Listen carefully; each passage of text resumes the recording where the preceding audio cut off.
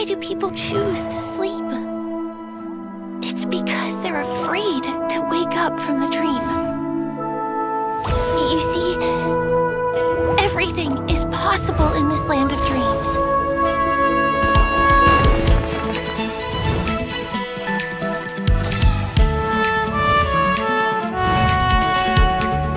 The nightmarish past will disperse and fade away like bubbles in water, and the face will never come.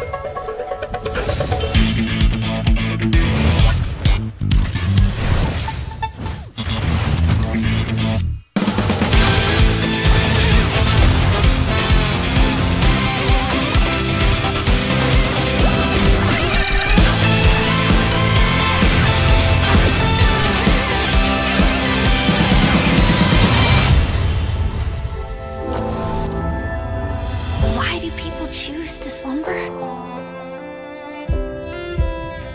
Because in the end, we will wake from our dreams.